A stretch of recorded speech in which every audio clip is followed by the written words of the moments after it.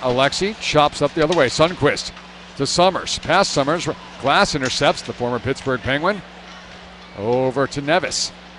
And now just fired around by Glass. As we're going to have a little fight here, Pat McGrath and Tanner Glass, they drop the gloves and they start feeding right hooks. Glass answers.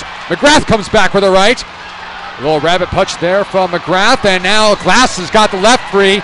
Switches back up to the right, able to connect with the big right haymaker. McGrath says no matter and carries on. Now they push each other against the glass. Glass coming over the top with a couple rights. McGrath goes down to one knee, now pops back up, standing his ground against Glass. McGrath with a little uppercut, unable to connect. Now Glass back with the right.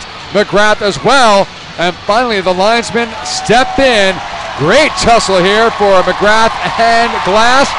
McGrath signals to the crowd, saying them to whoop it up. And that is a notch in the fight column this season for Pat McGrath. But we'll step aside. Penguins lead 5 to 1 here in the third period on the